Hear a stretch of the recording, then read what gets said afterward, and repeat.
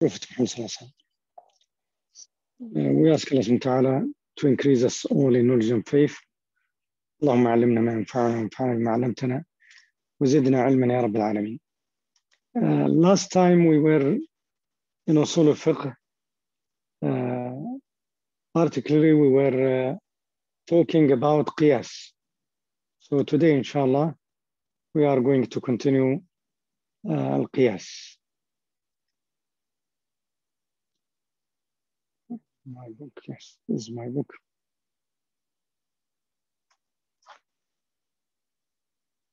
Okay.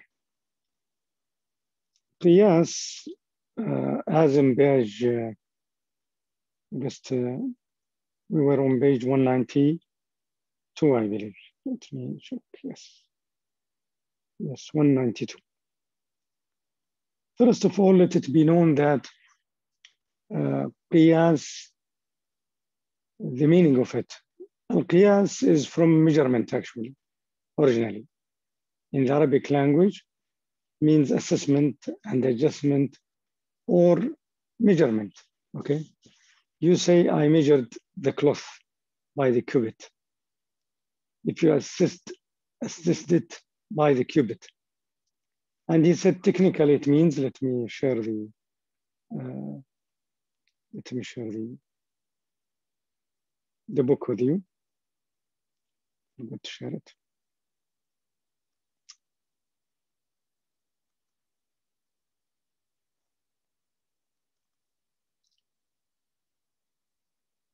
Inshallah, it's, uh,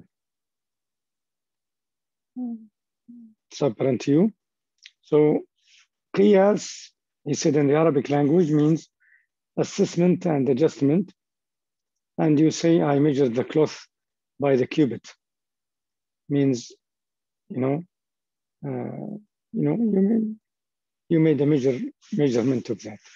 Technically, it means connecting the fara, means branch, to the asl, origin, in a particular law due to a common quality that exists in both of them due to a common quality.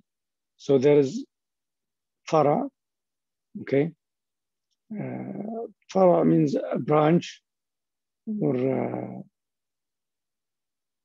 uh, it's a subsection of something that the alim know it goes to the origin of something, okay?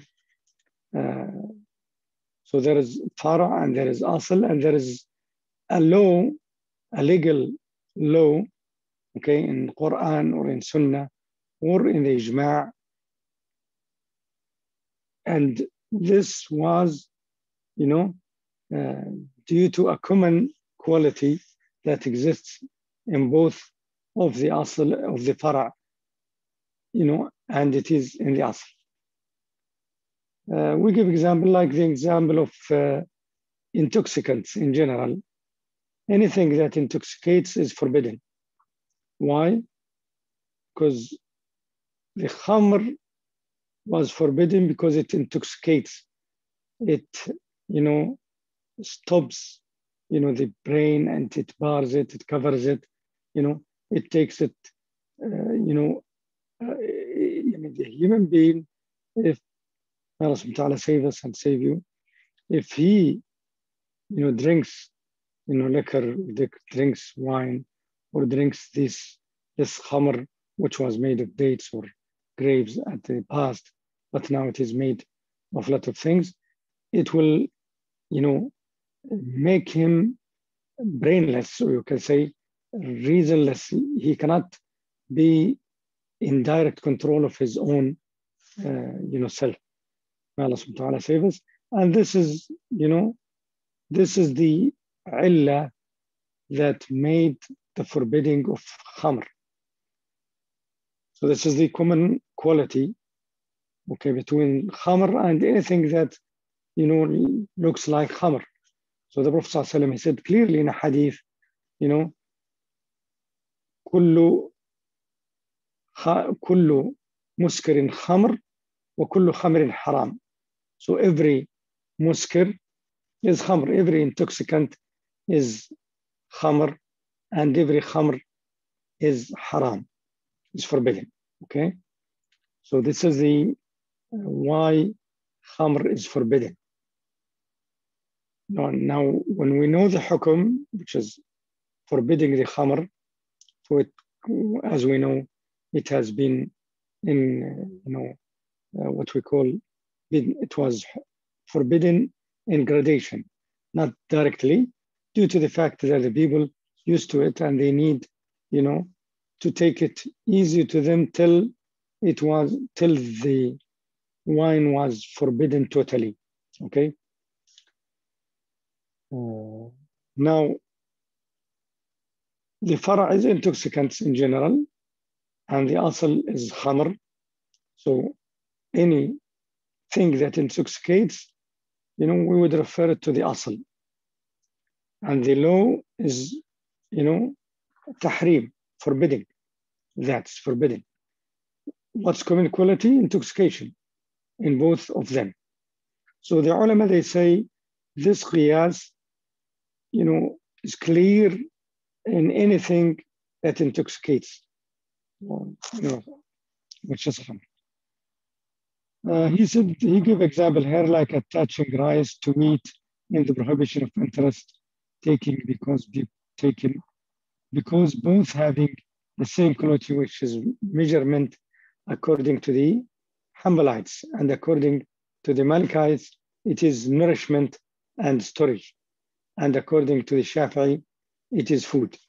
Uh, so, you know, this is one of the issues that the ulama differed with regard what's the uh, wisdom or the criterion of forbidding, you know, uh, the riba in, you know, in uh, grains, for example, or in rice. And rice was not known at that time. So in grains, wheat and, you know, stuff. According to the Hanbalis, okay, they said it is scalable. It is something you weigh, you measure.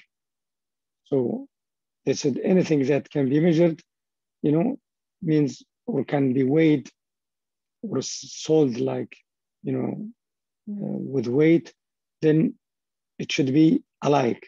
So if you sell rice, one kilo rice for another kilo rice, not one kilo rice for two kilo rice. Date, you know, with date, okay? Uh, even if the date quality is different, but the weight should be the same. So nobody, for example, goes and says, okay, I'll buy one at that time, for example, it was sa. Sa is, a, you know, volume, okay, a bucket called sa for sa, tamr. Even if that tamr is old. So what some people they do, they said if it is old, two sa for one sa of new dates. This is riba. Okay. Now the ulama uh, discussed whether why it is why riba is forbidden here. Is it due to the fact that it is a kind, it is a foodstuff, or it is, you know, something that can be stored, stored, can be hoarded and stored, saved for later times, or it is a, you know, due to being, you know, measured and weighed. Uh, according to the ulama, but uh, most of those, they go back to, uh, there, there will be differences in the some sub subcategories, okay, not all, okay? Uh, now, rice was not known, and ulama, they said rice is, is uh, the, yani rice with rice should be at the same weight. Okay, even if it is another different rice is rice, wheat is wheat. Okay, old rice, new rice, whatever, it should be the same weight. Now, wheat also. Huh? So they referred back rice as fara, qiyas, analogical deduction, to wheat. And they said it's prohibited to have this different than this. Okay. Uh, and the ulama, whether it is food stuff and both are food stuff, uh, weighed, yes, weighed, it can be stored, it can be stored, okay? Now, uh, I can go to uh, another, uh, actually, let me check if I can go to uh, uh, another book where we can find, where we can find uh, that the ulama talk about.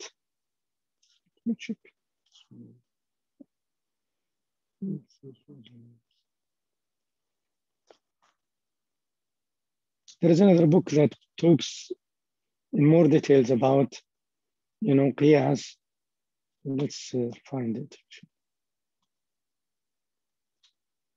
Why does it want to? Okay.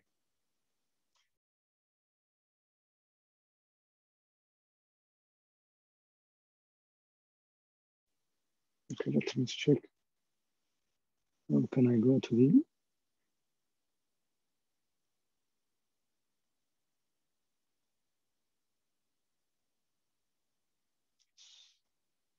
The other book is here, I believe.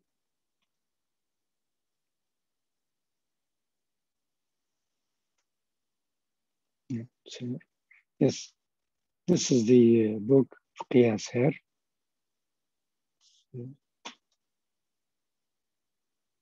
You can see it, inshallah.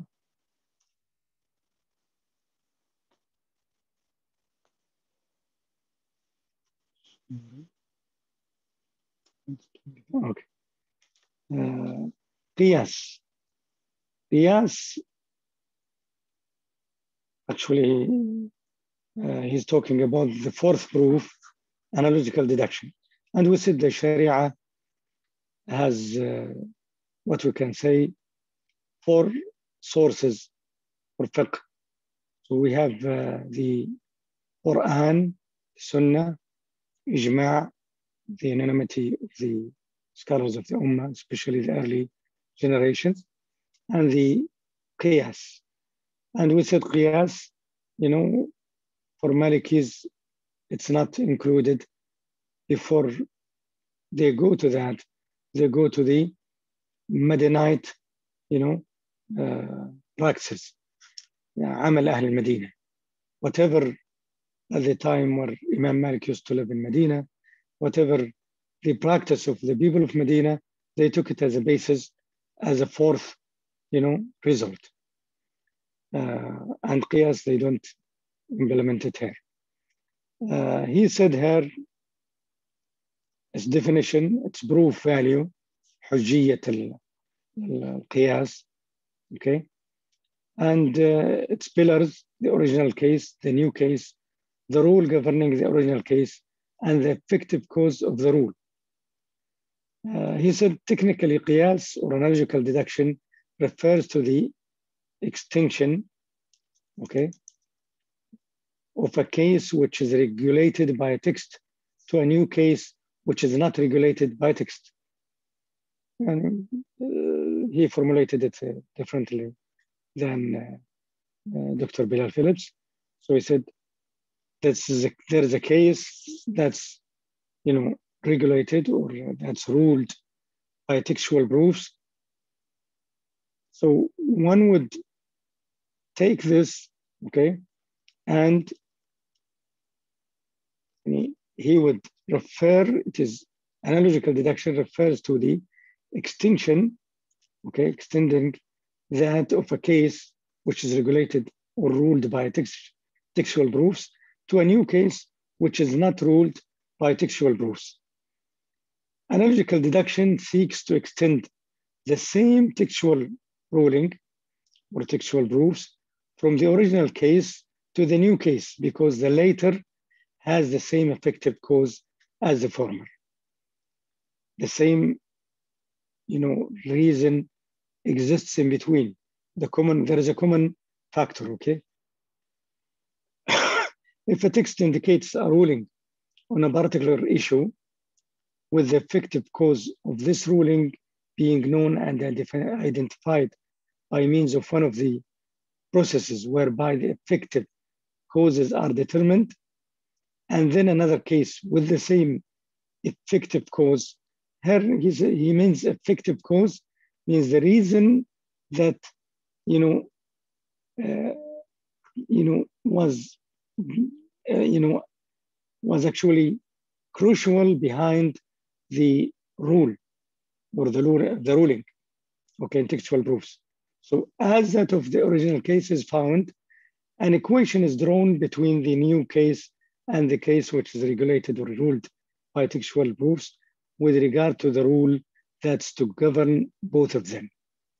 It is by virtue of the commonality of the effective cause of this uh, reason, you know, which is, uh, uh, you know, evident in both, that the ruling is extended because the legal rule exists where the effective cause is proved to exist. Usually, uh, the ahkam, especially the rules behind transactions, dealings, and uh, uh, are reasonable, rational, known. We can extra, you know, conclude that, we can infer it, we can know about it. While ibadah, the, the effective cause behind why Allah subhanahu wa ta'ala made uh, Asr four rak'ah, Maghrib three rak'ahs, Fajr two rak'ahs in these timings, nobody can give an effective, you know, reason behind why Allah subhanahu wa ta'ala uh, determined these timings, except in generality of wisdoms, okay? But, uh, you know, we cannot rule out every ibadah and say, this is the only reason or this is the you know the whole or the essential reason behind this ibadah so ibadat we cannot know the uh, the, the, effective causes of why Allah subhanahu wa ta'ala made them in that way okay while ahkam transactions dealings Allah subhanahu wa ta'ala made it you know uh, and uh, due to certain reason behind, you know, the, the, the legality of it or the forbidding of it, legality of it, uh, or is it, for example, disliked. So every dealings, transactions, you know, that Allah subhanahu wa ta'ala makes lawful and forbidden is, uh, there, is a, there is a wisdom behind it or there is a cause behind it or a reason. Uh, here he, he, he, will give some examples. Here are some illustrative examples of the analogical deduction, qiyas, analogical deduction, drawn from Sharia, from the Islamic law, and from man-made law. Uh, he gave, as an example, drinking wine is a case, the, uh, the ruling for which is founded in a textual authority. It is indeed the prohibition, you know, indicated by the words of Allah, the Almighty in the Quranic text, which reads, uh, indeed, intoxicants, gambling, sacrificing on stone, you know, altars to other than Allah, and divine, you know, divine, divining arrows are but defilement or defilement from the work of Satan. So avoid it that you may be successful. إنما إنما إنما الخمر أيها الذين آمنوا إنما الخمر إنما الخمر والميسر والأنصاب والأزلام رجس من عمل الشيطان فاجتنبوه لعلكم تفلحون in Surah Al-Ma'idah, ayah number 20. The intoxicating effect of wine is the cause of its prohibition. And this is the, by the unanimity of the ulama, that the effective cause is intoxication. Okay, or the original reason behind the prohibition of, uh, you know, khamr is intoxication, you know, intoxication. Any type of drink which fulfills, okay, this effective cause or reason is equated with wine with regard to the Sharia, you know, value that is is to govern it, and its consumption is also forbidden or prohibited or banned. Now, the killing of a testator, okay, a person who leaves a legacy when he or she dies. By his here, okay, is a case whose ruling is founded in a textual authority, namely that the killer is deprived of inheritance. A ruling which is indicated by the hadith of the Messenger وسلم, which, uh, you know, reads, the killer shall not inherit. Okay. Uh, this hadith is found in, see, narrated by Imam Ahmad in the Musnad. Okay. And uh, the ulama regarded this hadith as, you know, sahih. There is also uh, in al-Darimi, uh, the inheritance of the murderer, okay? The effective cause of this ruling consists in that killing one's testator involves speeding up something before its time is due. These designs must be retaliated against, and the killer is punished by depriving him of inheritance. The killing of a legator, person who makes a will before he dies by the legatee, fulfills the same effective cause.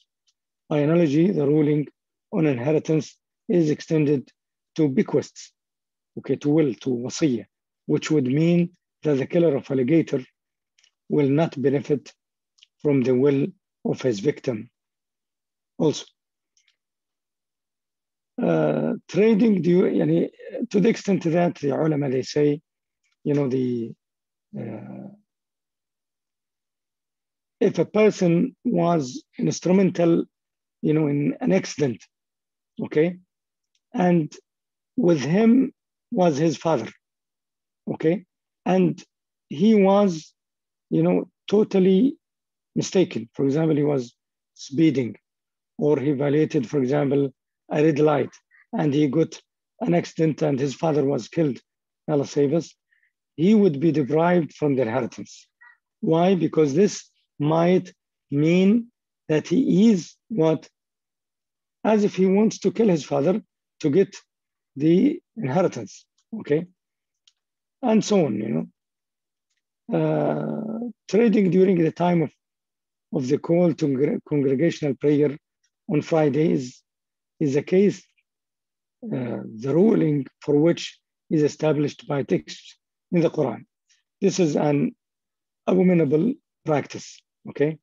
And there is karah, it is disliked, which is indicated by the words of Allah, the Almighty, who says, يا أيها الذين آمنوا إذا نودي للصلاة من يوم الجمعة فاسعوا إلى ذكر الله وذروا البيع وذروا البيع O you who believe, when the call is proclaimed to prayer on Friday, hasten to the remembrance of Allah and leave off business. Al-Jum'ah, ayah number nine. The rationale behind enacting this practice as abominable consists in that it distracts from salah, okay?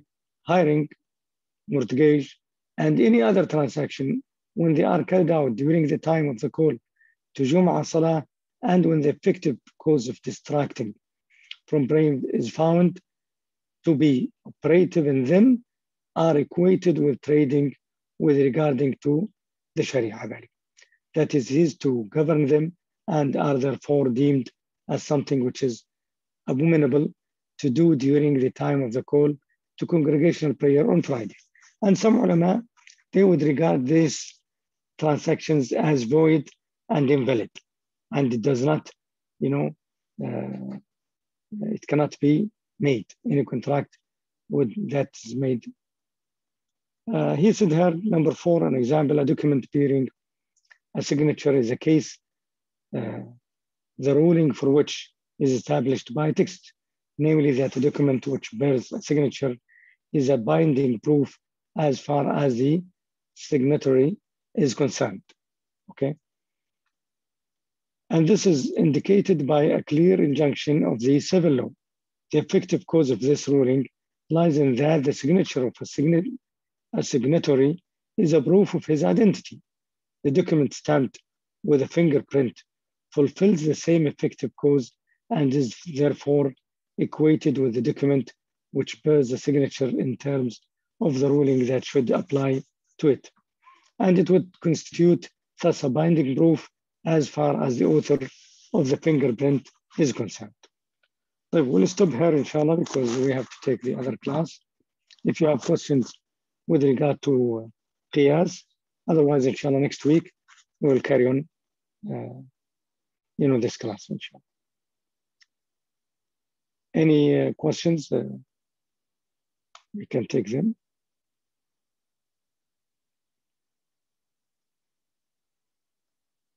If there is no question, then inshallah we'll just uh, take uh, our class, the other class.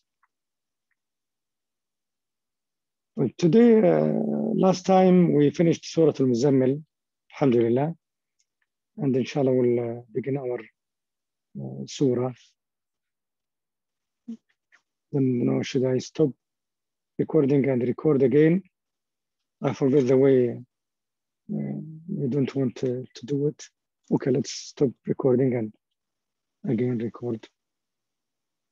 It's, excuse me.